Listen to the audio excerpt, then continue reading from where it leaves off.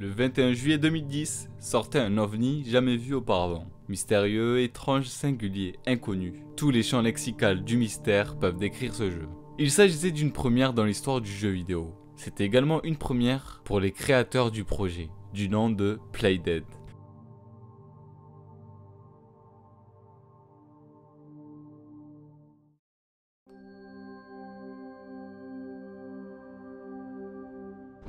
Durant l'année 2004, IO Interactive Studio, qui développe la saga Hitman en grande partie, travaillait justement sur Hitman Contract. Le studio comptait plus de 100 effectifs, parmi eux, en tant qu'artiste conceptuel, Arne Jensei, qui était peu à peu insatisfait de la nature de l'entreprise. Pendant ses temps libres, il avait esquissé des images d'ambiance d'un lieu secret afin de recueillir des idées. Ainsi, le résultat similaire aux arrière-plans du jeu final a inspiré Jensei à l'étendre. C'est vers le logiciel Visual Basic qui s'est tourné pour développer le jeu. Le développement avancé et Johnson s'est rendu compte qu'il avait besoin de plus d'aide. C'est ainsi qu'en 2006, il décide de créer une bonne annonce du jeu qui avait pour but non pas en priorité de promouvoir le jeu, mais plutôt de recruter un programmeur pour l'aider. La vidéo a suscité beaucoup d'intérêt sur internet et l'a finalement amené à rencontrer Patty, qui était également mécontent de son choix. C'est à cet instant qu'ils décident entre eux de fonder leur entreprise du nom de Playdead. Son nouveau employé, Patty, a beaucoup aidé Johnson à concevoir le jeu au cours des premiers mois. Mais cela ne suffisait pas. Il s'est rendu compte que le projet était beaucoup plus ambitieux que prévu. Et Patty, quant à lui, a développé l'activité autour du développement élargi du jeu. A savoir que seuls Patty et Johnson ont financé personnellement le projet. C'est qu'après qu'il a eu des subventions du gouvernement danois, notamment du Nordic Game Programme et plus tard des plus gros investisseurs. Depuis le début du jeu, Jensen a défini trois objectifs pour le produit final Limbo. Le premier objectif était de créer une ambiance, un style artistique spécifique. Johnson voulait créer une esthétique pour le jeu, sans recourir à des modèles tridimensionnels, très détaillés. Il a plutôt orienté l'art vers un style minimaliste, afin de permettre au développement de se concentrer sur le gameplay. Le deuxième objectif de Johnson était de n'exiger que deux contrôles supplémentaires, sauter et saisir, en dehors des contrôles de déplacement gauche et droite habituels, pour que le jeu soit facile à jouer. Enfin, le jeu fini ne présentait aucun didacticiel aux joueurs, obligeant les joueurs à apprendre eux-mêmes les mécanismes du jeu. Le jeu a été développé avec l'intention d'éviter de révéler les détails de son contenu. Le seul slogan fourni par la société était Incertain du sort de sa sœur, un garçon entre dans les limbes. Cela a été choisi pour que le joueur puisse interpréter la signification du jeu pour eux-mêmes. Dans le jeu, certains aspects des limbes remontent au passé de Johnson, tels que les zones forestières, similaires aux forêts autour de la ferme où il a grandi, et l'araignée provenant de l'arachnophobie de Johnson. Johnson s'inspirait des genres cinématographiques, notamment des œuvres de films noirs pour définir le style artistique du jeu. Le graphiste de l'équipe, Morten Bramsen, est réputé pour avoir recréé ce style artistique. Une grande partie du flux du jeu a été scénarisée très tôt dans le développement, telles que les rencontres du garçon avec des araignées et des vers contrôlant l'esprit, ainsi que la transition globale d'une forêt à une ville, puis à un environnement abstrait. Au fur et à mesure du développement, certaines des idées originales sont devenues trop difficiles à compléter pour la petite équipe. Le scénario a également changé. À l'origine, les séquences d'araignées devaient être présentes vers la fin du jeu, mais ont ensuite été déplacées vers la première partie. Rétrospectivement, Johnson était conscient du fait que la première moitié du jeu contenait plus d'événements et de rencontres scriptées, tandis que la seconde moitié du jeu était plus solitaire et complexe. Johnson a attribué cela à son manque de surveillance au cours des dernières étapes du développement. Il a délibérément fini le jeu avec une fin ouverte, bien qu'il avait une interprétation spécifique qu'il savait seulement. Cependant, il a noté, après la sortie du jeu, que certains joueurs postés sur des forums avaient suggéré des interprétations effrayantes proches à ses idées. Le gameplay était le deuxième élément créé pour le jeu, à la suite des graphismes créés par Johnson.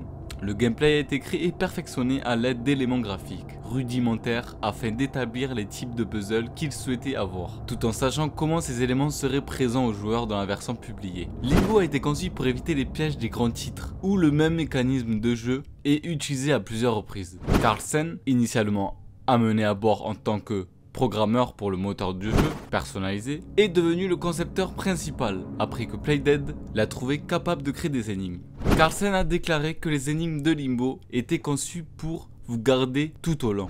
Jensen voulait également faire en sorte que les énigmes se sentent comme une partie naturelle de l'environnement et éviter d'avoir l'impression que le joueur passe simplement d'une énigme à une autre au cours de la partie. Carlsen a identifié les exemples d'énigmes d'autres jeux qu'il voulait éviter. Il voulait éviter les énigmes simples qui donnaient peu de satisfaction aux joueurs, comme un puzzle dans Uncharted 2. Cela impliquait simplement de déplacer un miroir éclairé par le soleil à des points spécifiques d'une pièce. En revanche, Carlsen voulait éviter de rendre le casse-tête si complexe avec de nombreuses pièces distinctes que le joueur aurait recours à des essais et des erreurs pour finalement réussir la solution sans se demander pourquoi elle fonctionnait. Carlsen a utilisé un exemple de casse-tête tiré du jeu Prince of Persia en 2008, qui comportait 7 mécanismes différents qu'il ne s'était jamais donné la peine de comprendre. Carlsen a conçu les casse-têtes de Limbo situés entre ses limites, illustrant un casse-tête qui ne comporte que 3 éléments, un panneau de commutation, un sol électrifié et une chaîne. L'objectif, utiliser la chaîne pour traverser le sol électrifié.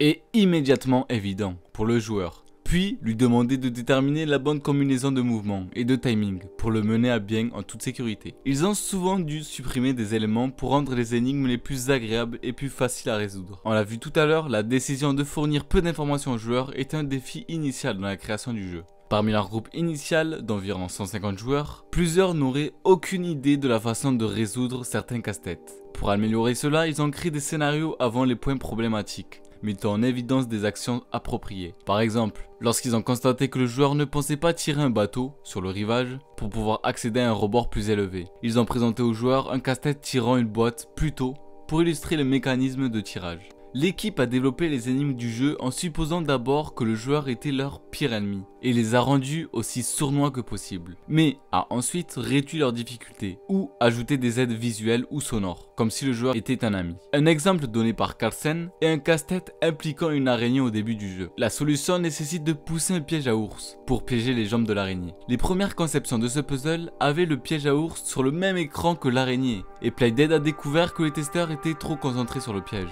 Les développeurs ont modifié le casse-tête afin de placer le piège dans un arbre, dans une section hors de l'écran, plutôt qu'en face de l'araignée. Les actions de l'araignée finiraient par faire tomber ce piège au sol, et en faire une arme contre l'araignée.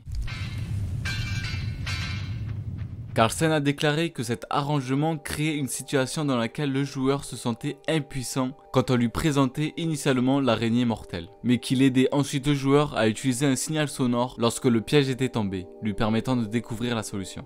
Au cours des trois années de développement du jeu, un animateur s'est concentré à l'animation du garçon, notamment des animations montrant l'anticipation des actions ou des événements du joueur, tels que la recherche d'une poignée, de panier, lorsque le joueur déplace le garçon, près de l'objet. Jensen a estimé que c'était important, car le personnage était toujours au centre de l'écran, du joueur, et l'élément le plus important à surveiller. Playdead a inclus des séquences de mort macabres, pour mettre en évidence les solutions incorrectes et décourager les joueurs de répéter leurs erreurs. Alors qu'ils s'attendaient à ce que les joueurs rencontrent le garçon dans de nombreuses morts, en essayant des solutions, Carlsen a déclaré que leur objectif était de s'assurer que la mort ne soit pas une pénalité dans le jeu, et a rendu les animations de la mort amusantes pour que le joueur reste intéressé. Carlsen a noté que plusieurs des premières énigmes étaient trop complexes pour le jeu, mais qu'elle finirait par utiliser une partie de ses plus grands énigmes dans la version finale. L'audio du jeu a été créé par Martin Stig Andersen, diplômé de Royal Academy of Music d'Aarhus.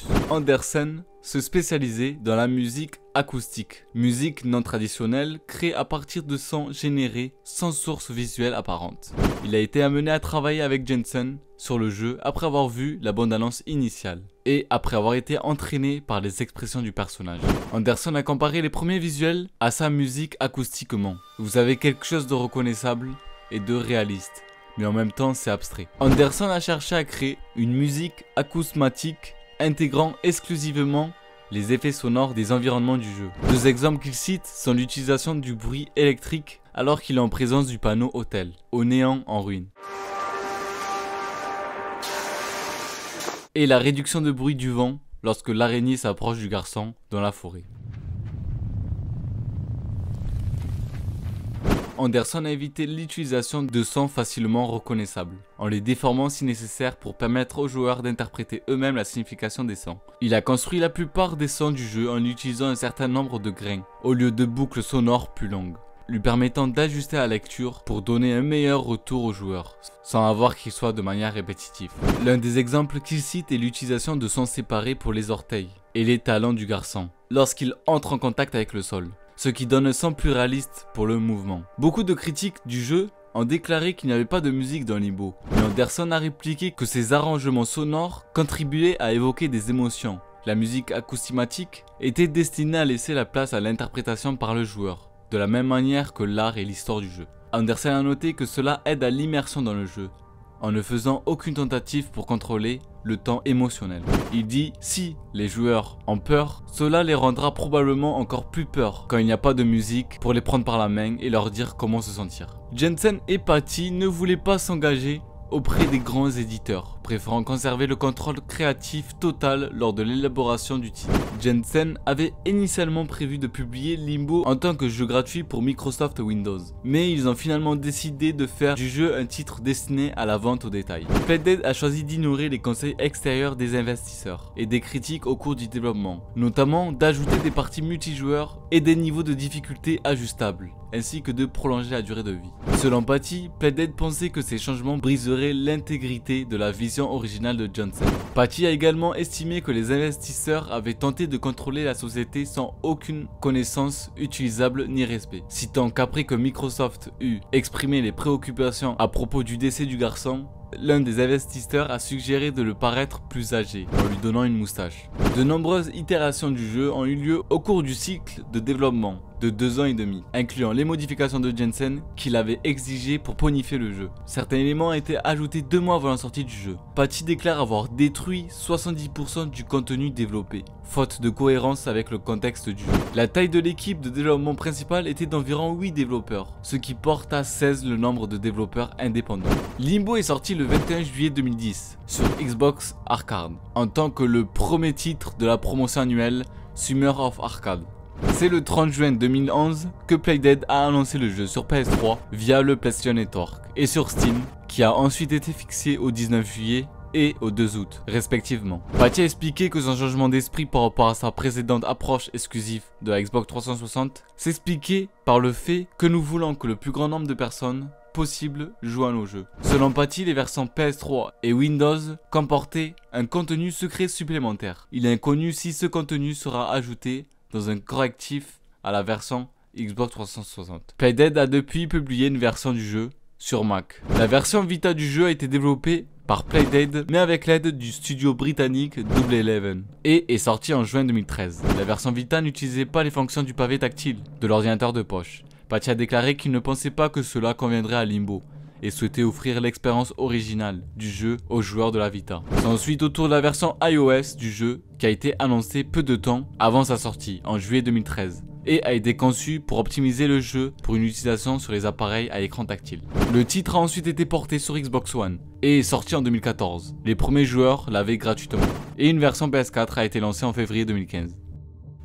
La détermination de Jensen permis de créer l'un, si ce n'est le meilleur jeu indépendant de ce siècle. C'est ainsi que cette vidéo se termine. N'hésite pas à liker et partager la vidéo si elle t'a plu. N'hésite pas non plus à t'abonner tout en activant la cloche pour ne pas louper les prochaines vidéos. Tu peux également me soutenir gratuitement sur Utip. Sur ce, on se retrouve pour une prochaine vidéo. Ciao